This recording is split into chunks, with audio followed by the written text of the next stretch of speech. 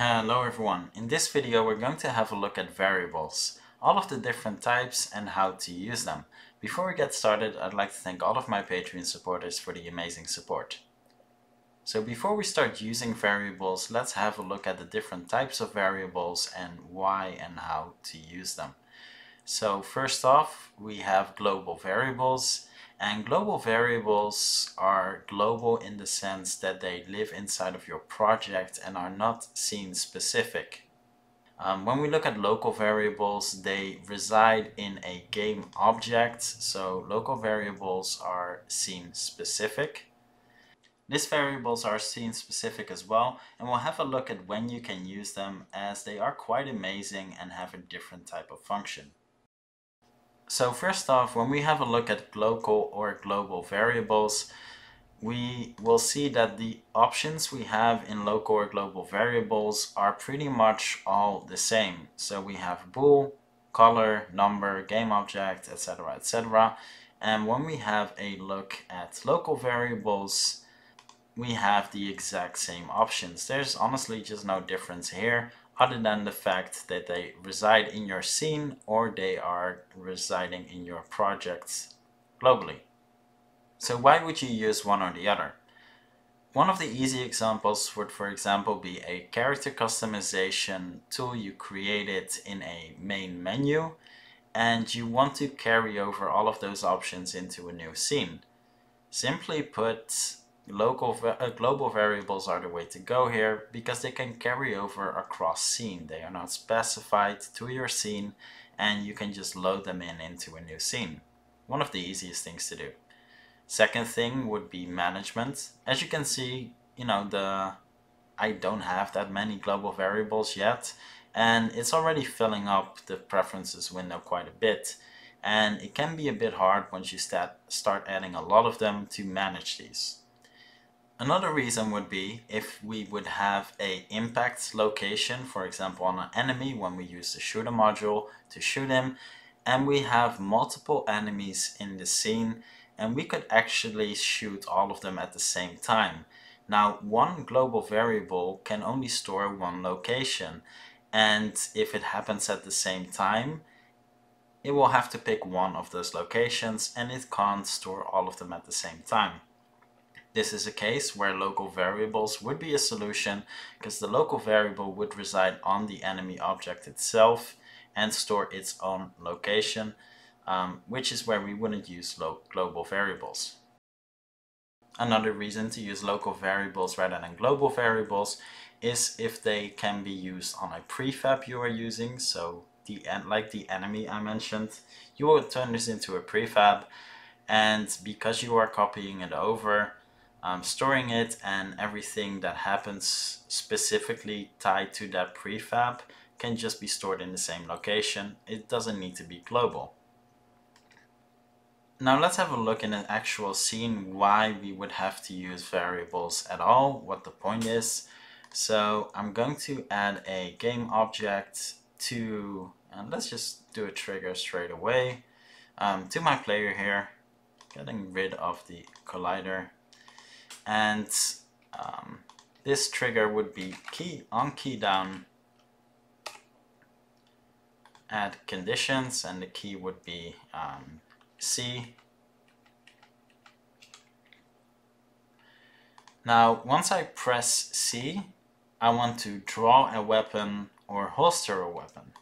So if I select draw weapon here the condition would very simply be shooter module is armed yes or no, true or false. If he's unarmed, I want him to draw. Let's copy this over. If he is armed, I want him to holster. And that's it, really plain and simple.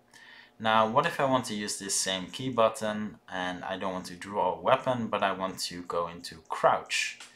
Now I would remove those actions and I'm going to use a state and that's the thing crouching is a state just like swimming would be a state um, sprinting would be a state flying would be a state so I'm going to select crouch here and in the other scenario I want that to reset. Now, what would be the condition in this case? Because, well, there's nothing that, you know, is related to crouching whatsoever because it's, you know, our own custom state. It's not predefined. So we want to be able to know somehow, are we crouching, yes or no? And that's exactly the same as we are doing with the shooter module. So are we armed, yes or no? But in this case, there are no conditions that, you know, check that for us. So this would be a case where we would use a variable. But we don't have that variable yet, and where are we going to store that variable? Now we can do this in a global, um, global function, as in this case it would only be for the player, and that would be completely fine. However, it is also unnecessary to use space in our preferences window, which is already not that big if we don't need to. And in this case, the crouch and pressing C would only refer to our player object. So we can just simply add a local variable here. Bool that is crouch. And by default, when we start a game, we are not crouching, um, we are standing, so it would be false. So let's select local variable here, drag in our trigger, crouch, false. So if I press C and we are not crouching, we are going to crouch. I can copy over this condition and select true. If we are crouching, I want it to reset. Now I still need to define that bool, so the bool still needs to be filled in. So let's select the local, drag it in, crouch, and do the opposite. So if we are crouching, I want crouching to be turned off once I press C, and I want him to stand up, so reset. If we are not crouching, I want crouch to turn on when I press C, and I want this to um, go into crouch mode. Now it's important that you always put that bool on top, um, that way there's absolutely no delay um, between the states. If you're doing this later and there's like here a transition, technically between that period when I, you know, press C real fast, I could actually cause this to, uh, well, have some issues. So always make sure that bool is at the top. And yeah, that's it really. So let's save and let's give this a go. So I'm going to select my trigger where we have our bool and as you can see the value by default is false. I'm going to press C and it's going to be true false, true, false, true. And that's it. So this is a really easy way to use variables, but it's also one of the, um, well, pretty much necessary ways to use it in a case like this. So, you know, that's one of the things, uh, one of the ways you can do this. Now another way to use those variables and where you will see this quite often is actually in actions and triggers. So if I select a trigger here and I select on receive shot, you will see this option. So we can store the shooter and store the impact. Now why would you want to be able to store the shooter? Um, think for example in a game if you have a type of counter attack or something like that. Um, if someone shoots you, you you know attack back. You know you want to know which which character attacked you. Um, not the best example, but it's you know something. Um, and store the impact position is where we would actually store where um, we would want a certain effect to happen. So an impact position like this, shot impact, is a location. So this is not the best way to do it, but I just want to show how it works. Vector tree, and we can then select local variable. Um, we have player, invoker, game object. So we can select player and just use the name. So shot position. And if we would select the game object, we have shot position here. You can also use player directly and then you have to type it. Um, obviously this is, you know, more prone to mistakes as your spelling has to be perfect, but you know, it's another way you could do it or just use the game object. Now, why would you use player instead of game object? And that's more related to um, if you are creating prefabs out of this and you want to drag drop those in a scene, um, as the game object is not specified if it's a prefab, um, you could use the player instead because it will always look for that player object. So one of the ways to do it. Um, but yeah, that's uh, that's one of the reasons and you will see several actions have this as well so if for example um, let me remove these as we no longer need them so if we go into crouch for example um, and we want to instantiate um, we want to instantiate an effect and we want to destroy that effect once we go back out of crouch. We can, um, what could we use? Do I have fx? A bubble, let's say a bubble, and we want that to instantiate once we go into crouch. I have no idea why we would use a bubble, but you know, just as an example. Um, and once we go out of crouch, we want that um, particle effect to be destroyed. Now, because I'm instantiating, I can't really refer to it because it's not in our scene yet. So we could go back to our trigger here, um, add a game object. So particle effect.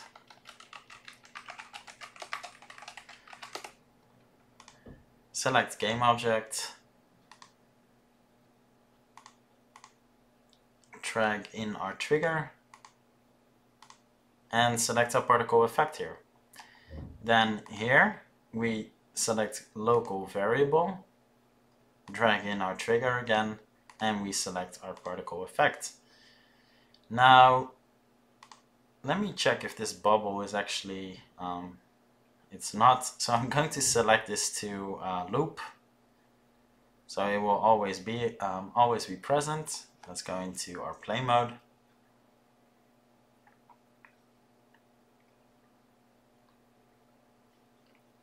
Perfect. So I'm going to press C and we have this bubble and it's, you know, it keeps looping. And as you can see here, it's now in our hierarchy. It got instantiated. And now I want this to stop. So I'm going to press C again and the particle effect is gone. And that's simply because I stored it in a place where these actions can find it. And that's another really good reason to use variables, um, as you can see quite clearly. So list variables, why would we be using list variables? So I'm going to add a list variable here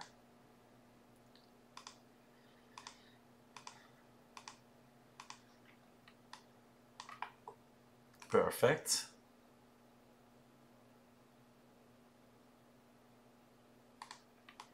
I'm going to add a cube.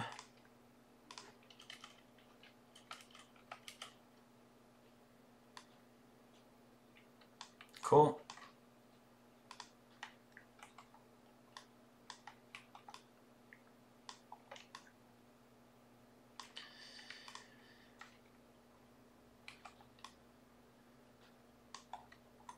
Perfect. So we have six cube in our scenes now. So I'm, uh, I need, oh, I need those here as well. So let's drag them in.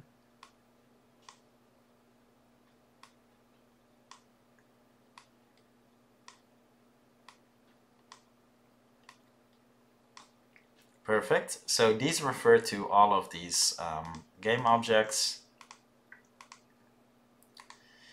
And what I want to do now is I'm going to add a trigger here. Let's get rid of that collider. So on start, and it's going to be really simple, I'm going to move my player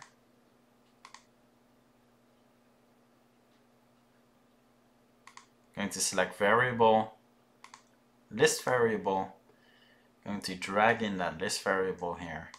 And I want him to move to a random position. So let's do one. And I'm going to hit play.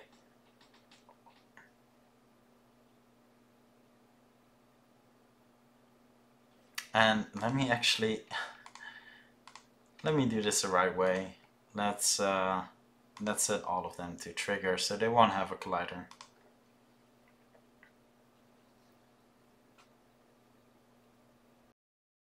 Ah, it's not repeating. Apologies about that.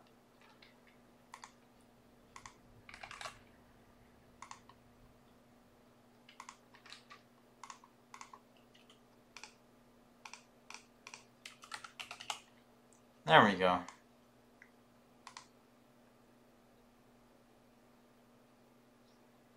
And as you can see, I hit play mode now and he's actually going to a different object and basically he's randomly picking a location to go to.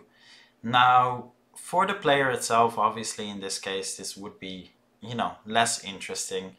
Um, but for NPCs, this is actually something really useful as you don't want, or, you know, most likely, um, won't want your NPCs to always act exactly the same. You want to be able to randomize this. This would be a good way to do it. Um, list variables allow you to randomly pick or actually use next, previous. Um, if you check out my character creation video, uh, character customization video, you will see that I use list variables quite often actually for customization as well. As list variables allow you to store a bunch of objects in a list order, so I can use next, previous from that list, or randomize things. So in my um, easy template kit asset, I use list variables as well in order to randomize loot drops as they will randomly pick, um, you know, pick something from list. Next time you will hit play, um, it won't be the same. These, this order will be different and that's kind of the beauty of it. Um, incredibly useful it's really hard to, you know, um, just demonstrate a bunch of different things we can do here. Um, I use this in a lot of videos and those examples I just mentioned are good examples of why you would use this. Now obviously sometimes, like we're seeing here, um, he keeps going to the same two. That's because, well, it can happen in random. So yeah, that's the power of list variables. Um, and the interesting thing here is, as you can see, we have our index options in the list variable. We can use first, last, previous, current, and next. And as you will develop your game, you will see that there's actually a lot of use cases as to why you would use this. So really cool, really useful. Um, yes, you can store local variables and uh, list variables um, as a prefab as well, just keep in mind that they then can't refer to localized objects. So I could store a local variable with a bunch of bools or numbers or anything like that easily in as a prefab. I can't really do that if it's going to specify to game objects that reside in a scene. So something to keep in mind, yes, you can actually use um, those as, you know, as global objects as well, kind of in a way, not really. But yeah, you can store them as prefabs, use them across scenes. Um, so for example, if you would use a um, list variable to instantiate random, you know, particle effects, for example, no problem as long as those particle effects are prefabs as well. If you wanted to instantiate based on what is currently in the scene, you can't really use it across scene because they will specify to specific localized game objects in your current scene. So something to keep in mind, but you know, local variables and list variables are actually really useful, really powerful, and don't refer too much to just having a ton and ton of global variables where you don't need to. So hope this was useful in a way. Um, you know, obviously there's tons more you can do with this, but I wanted to highlight a bit how great these truly are. So thanks for watching and I'll see you in the next one.